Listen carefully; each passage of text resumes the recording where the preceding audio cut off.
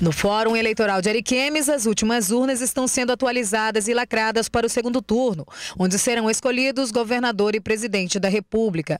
Apesar do número bem menor de candidatos, o trabalho para organizar a eleição é praticamente o mesmo. O procedimento quanto às urnas, né, a lacração, carga, é praticamente o mesmo.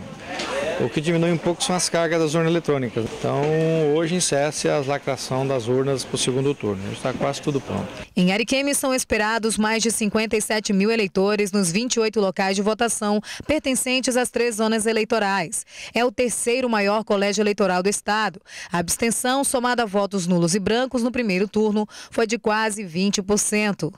Os eleitores que por algum motivo não votaram no primeiro turno devem procurar o seu colégio eleitoral no segundo turno e realizar a votação normalmente.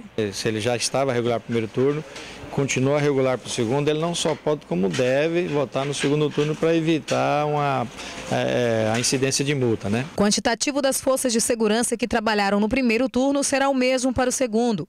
O objetivo é sempre coibir tentativas de crimes eleitorais. A segurança mantém a mesma estratégia do primeiro turno. Né? Nós já havíamos feito uma reunião com as forças policiais do município né? e é, foi traçada uma estratégia de trabalho e vai se manter no segundo turno a mesma, mesma estratégia para a segurança.